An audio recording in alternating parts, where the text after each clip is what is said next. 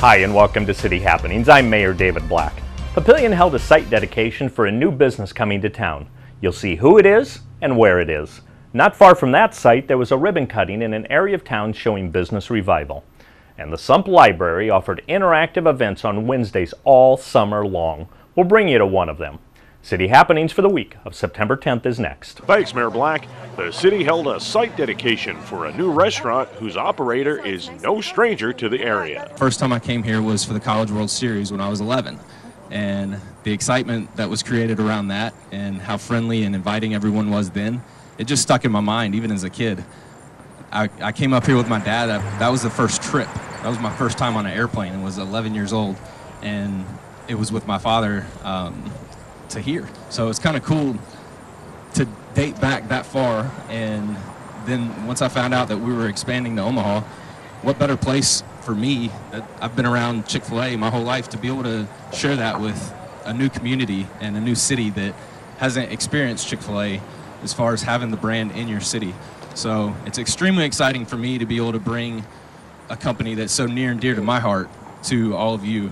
And I will do my absolute best to provide you guys with great food, great service, and a great experience every time you come to my restaurant. Welcome on behalf of the, uh, the, all of the residents, the city council, and we do have some city council members here. Councilman Jaworski, Councilman Ingberg. Um, so official thank you, the staff, uh, department heads, uh, just officially welcome you. Um, there are a number of business, a small number of businesses that on a very regular basis we get calls and say, this is a great place to live, but if you would only have this, it would be a little bit better. And I literally say there's only three or four businesses that are consistently in that conversation over a long period of time, and only one food operation, and it happens to be Chick fil A. And so we've heard about Chick fil A from the residents for a long time as we look to see what we do from an economic development and how we go recruit and how we raise awareness, um, that plays a role. And so we spent quite a while trying to figure out how do we get Papillion on the radar of Chick-fil-A. And we had some proactive things where we tried to reach out. Don't know if any of them had an effect, which ones maybe were seen, but we spent a lot of effort on that. And what I really want to thank are citizens. We've had we had a number of citizens who reached out to Chick-fil-A corporate specifically on their own to try to raise awareness, saying you need to come here. We had residents come to City Hall to get materials on Papillion so they themselves could send it to Chick-fil-A headquarters because they wanted Chick-fil-A here. So you talk about an engaged community for economic development. This is an engaged community for economic development. So I just want to tell you thank you. A well known area business held a ribbon cutting as this store moved to a new location in town. On behalf of the City of Papillion, I want to welcome you and your staff too. It's not a welcome, it's a reinvestment, and we take that very serious and we're very thankful for that. Uh, we were talking in the parking lot, uh, Sarpy County is the roots of uh, scooters. And uh, so you've been part of the community for a large number of years. You got a great product. I worked on my own for a couple of years, and I'd actually office out of this scooters over here. So um, great, great product. We're glad you're part of the community, and uh, with your reinvestment and the and what's going to happen next door, you got a lot of years of success. So thank you very much. If you need anything from the city, reach out to us.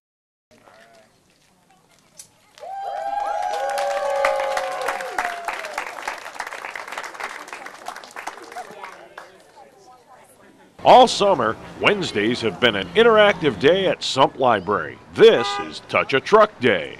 We are very pleased with all the businesses that have shown interest and have asked can they come back next year already, so it looks like it's been a huge success. 200 plus kids, I think it's been great.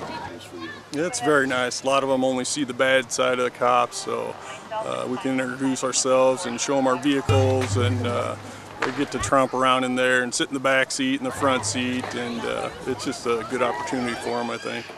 Well, you know what? It's we want to support the community, so we'll do it anytime. And you're right, Torri. It is just an amazing event for the kids, for the parents, for the daycare providers that have brought kids today. We are thrilled that we've had this this great a turnout on such a hot day. The big trucks, the big semis, and all that. It's really nice, actually. You know, they always point to the trucks, and you can tell they want to get in them and touch them, and just a nice opportunity for them to learn a little more about them and climb in them, and you know, pull the cord, to honk the horn, that kind of thing. So it's yeah, it's a nice opportunity. It's the kids love it. What does this event say about our library? well, that's unique. It Doesn't happen very often.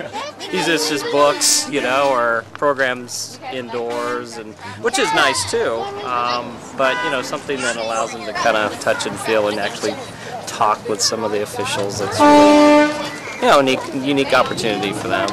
For one resident, this event helps to make Papillion special. Papillion is the top one on the city living very easier. I like here very much. People are very friendly. Education is very good. This is the top of this world. There is lots of maintenance and development construction going on around the city. Please be aware of this while driving on our city streets, and thank you for your attention and patience.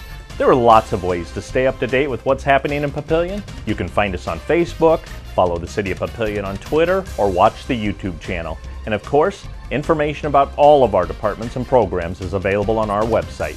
For more information about Papillion, go to www.papillion.org or just call the Mayor's Hotline at 402 827 1111. Thanks for watching.